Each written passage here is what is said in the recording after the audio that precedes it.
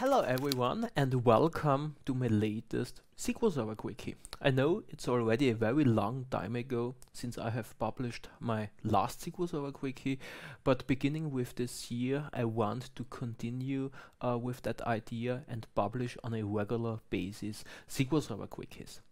Today I want to talk about a very interesting technology that Microsoft introduced back with SQL Server 2017 support for Docker containers.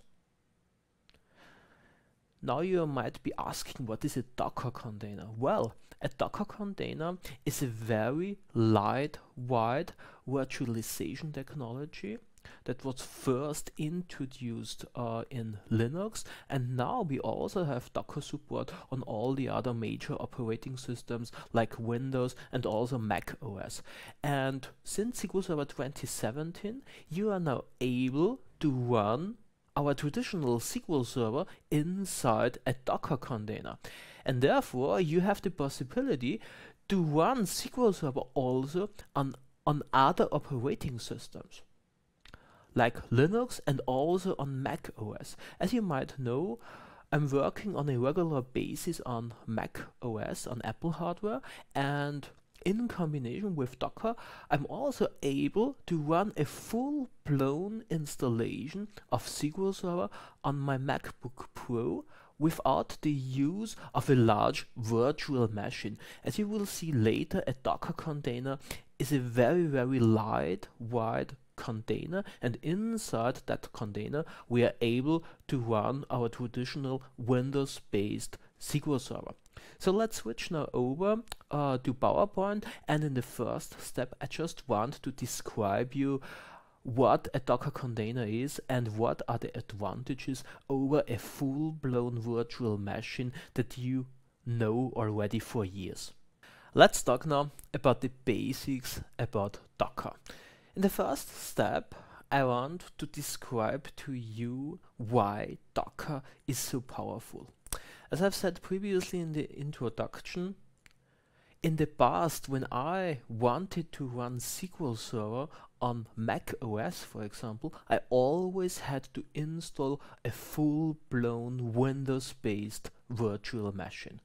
This took a lot of time, you need to patch that machine means Microsoft provides every month updates means you have to download them you have to install them you have to cross your fingers that afterwards everything is working as expected. And also very very important you also have to license that virtual machine. This is also very very important. So I have done in the past a lot of work just to be able to run SQL Server it doesn't matter if I wanted to run SQL Server on Mac OS or even traditionally on Windows, every time when I installed SQL Server, I installed a complete virtual machine so that SQL Server can be isolated from everything else.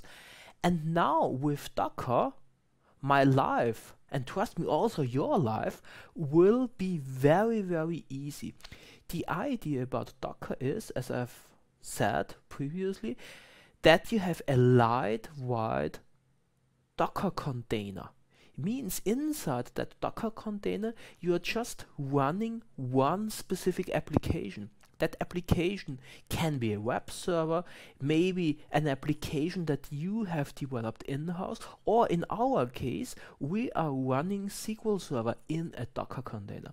And as you can see, inside that Docker container, you're not virtualizing your operating system anymore. No, you're not virtualizing your operating system because the Docker container is running on your host operating system. This means when you're running Docker on Windows, your Docker containers are using the Windows operating system. When you are running Docker on Linux, your Docker containers will use Linux. And if we are running Docker on Mac OS, like in my case, we're just using Mac OS as our base operating system. So this is also very, very important. You have just your base operating system, so the operating system on which you are running Docker, and that operating system is just used for all your Docker containers. So it doesn't matter how many Docker containers you are spinning up, how many Docker containers you are running, you're just using the OS of your host the machine on which you are running a Docker. Means you only have to license your OS once and you also have to patch your your OS just once. Means in my case I just have to patch Mac OS or in your case maybe you're just patching once Windows or once Linux and afterwards yeah you're just running SQL Server inside your Docker container. So this is very very powerful and very very cool because it's just introducing less overhead Let's talk now how you can work with Docker. When you have installed Docker on your host operating system, you get a command line tool called Docker and with that one you can work against uh, the Docker environment. In the first step we need a so-called Docker image. So all the major software vendors like Microsoft, VMware and so on, they provide you a so-called Docker registry and inside that Docker registry they have Docker images which you can download. So in our case, Microsoft provides us Docker images for all SQL Server versions beginning with SQL Server 2017. So the Microsoft Container Registry provides you Docker images for SQL Server 2017, SQL Server 2019 and SQL Server 2022 which was just released a few weeks ago. So let's download now the Docker image for SQL Server 2022. So you use here the docker pull command, you specify the image, in our case we specify the SQL Server 2022 latest image from the Microsoft Container Registry. In my case I have already downloaded that image, so as you will see uh, our image is just up to date you can use for example the docker image ls list command and that command just tells you which images you have already downloaded on your host operating system. So as you can see, I have here a Docker image for SQL Server 2022, SQL Server 2019, and I have also other Docker images, for example, Docker images that I have created for working with Service Broker. I have here another one which is also for SQL Server and I have here another one uh, in which I'm doing my whole uh, operating system development stuff. So we have now that Docker image in front of us and you can think about that Docker image like an ISO image that you have downloaded in the past from Microsoft. So now we have to install that Docker image and installing in the context of Docker just means that you're spinning up a new Docker container. And you can spin up a new Docker container with the docker run command. As you can see, we give that Docker container a name. In our case, we call it just SQL Server 2022. We specify the Docker image that we want to use, so the latest image of SQL Server 2022 that we have downloaded previously. Then we do a so-called port mapping, so we are just telling Docker that the port 1433 inside the Docker container should be mapped to the port 1433 on my host operating system. So when we run now that Docker container, you can connect to SQL Server with the NetBIOS name localhost because on localhost the port 1433 will be forwarded to that specific Docker container. And in addition we have to specify some environment variables. So in the context of SQL Server we have to accept the end user license agreement and of course we also have to specify an SA password because otherwise you wouldn't be able to connect to SQL Server. So let's run now that command and as you can see we have spinned up now a Docker container. You can also see that Docker container with the ps command which shows you all the running uh, Docker containers. We use the dash A for all Docker containers and now we can see that that Docker container SQL Server 2022 is just up and running for 15 seconds. So let's connect now to that SQL Server instance. I'm using here Azure Data Studio. Azure Data Studio is also a lightweight version of SQL Server Management Studio, which just runs also an, on every major operating system. So like Windows here, but Azure Data Studio also runs on Linux and also on Mac OS. So when I'm working on Mac OS, I'm mostly using Azure Data Studio to connect to SQL Server, which is running in a Docker container on Mac OS. So let's connect now to localhost.